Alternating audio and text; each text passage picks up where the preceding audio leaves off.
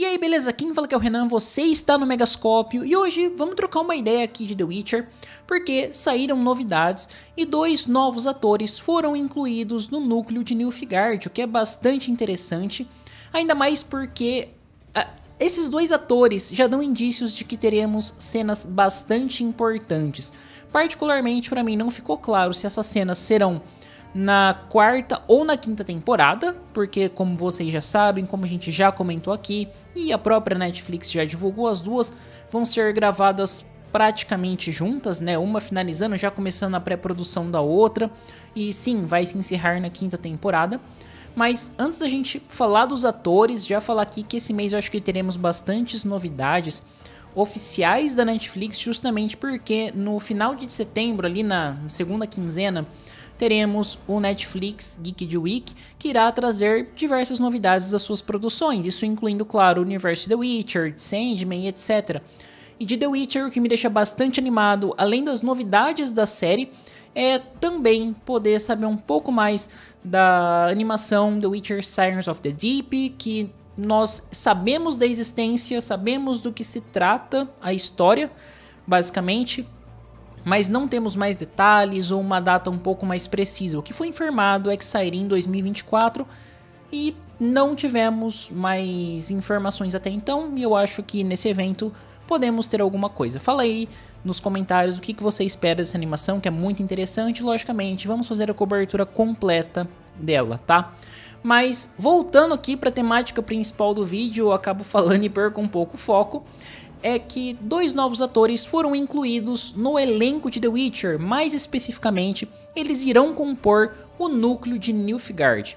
E os dois atores são o Tom Benedict Knight e o Andrew French. Ambos serão do núcleo Nilfgaardiano, como eu já falei, e nós sabemos que o Tom Benedict Knight irá interpretar o Ardal Epidarre, que eu acho que para quem já joga os jogos da franquia The Witcher vai saber quem que é, ainda mais porque ele é bastante importante em Throne Break. E o, Andrew, e o Andrew French, ele vai interpretar um dos soldados que é enviado pelo Stefan Skellen para a captura da City. Essa parte da captura, já começando por aqui, para depois a gente voltar para o Ardal, que tem um pouco mais de informações. Essa parte da captura me anima bastante, porque esse personagem do Andrew French, ele estará presente na parte da, do livro, pelo menos, da patinação, em que a Ciri batalha contra os soldados que vão tentar capturá-la.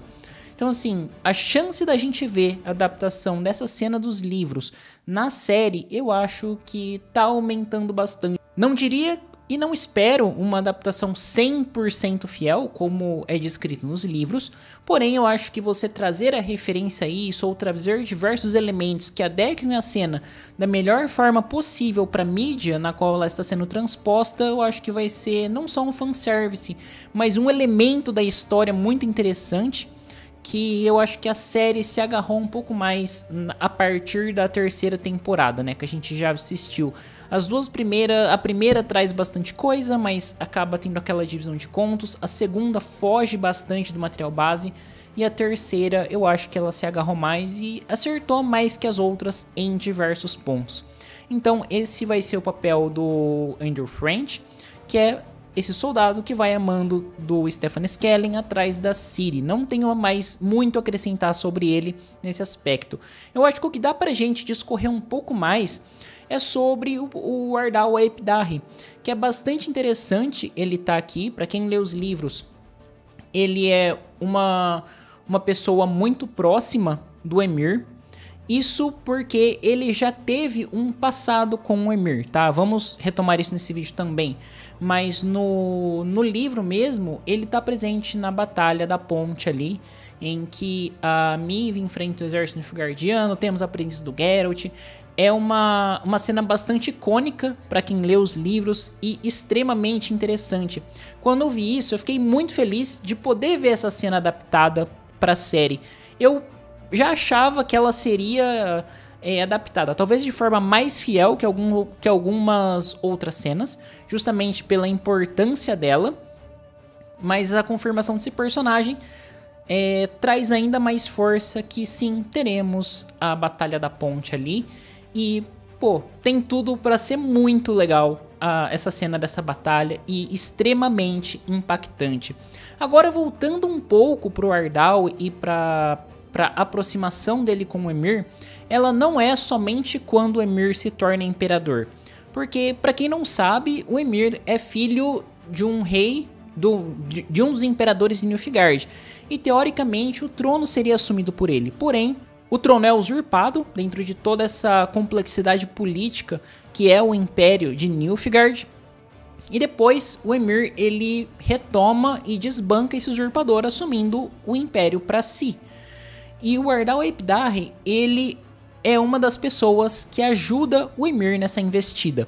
Então, por isso da proximidade dos dois personagens, como de um elo de confiança bastante forte e importante que eu acho que para diversas cenas que talvez quem não lê os livros é, não vai conseguir pegar toda essa esse background ou para quem não jogou e não entende um pouco mais o universo pode ficar em falta caso eles não apresentem algum background um pouco mais aprofundado, né? Porque o que nós temos do Emir até então é na primeira temporada, no episódio do da criança surpresa, em que o Geralt ajuda o, o Cavaleiro Ouriço. Porque sim, o, o, Emir era o Cavaleiro Ouriço, que quando ele foi. Ele, o, quando o pai dele foi destronado e ele acabou fugindo do Império de Nilfgaard, ele foi transformado naquele ser e o Geralt ajuda a acabar com aquela maldição. Então, assim, é, isso é bastante interessante porque eu acho que pode tomar a história desse personagem, que é muito legal, e tem tudo para ser bastante intrigante também, porque o Emir, ele, digamos assim, ele é um vilão muito interessante, ele é um personagem que tem as suas motivações pela busca de poder. Vamos ver como essas motivações serão adaptadas para a série, porque podem ser bastante controversas. Mas é um, pedaço que eu tô bastante interessado em assistir. E para quem curte Nilfgaard, só deixar um lembrete que aqui no Megascópio nós já temos um vídeo comentando sobre a questão do Império de Nilfgaard em si, falando sobre as suas épocas, sobre seus imperadores e o que aconteceu de destaque em cada uma, desde a origem do Império até a, o, o desfecho de The Witcher 3, tá? Mas a história do Emir é um ponto que talvez valha fazer um vídeo somente para isso, porque é realmente muito interessante. Bom, gente, é isso aí. O vídeo vai ficando por aqui. Espero que vocês tenham curtido. Se inscreva no canal, ative o sininho, dê um joinha que ajuda bastante na divulgação, na descrição. Link para as nossas outras redes sociais. E na descrição também vocês encontram um link para o nosso site www.megascopio.com.br. Acessem lá que eu acho que vocês vão curtir demais o que a gente publica de novidades de livros, board games, reviews, jogos. Então acho que, cara, confere lá que vocês vão curtir bastante.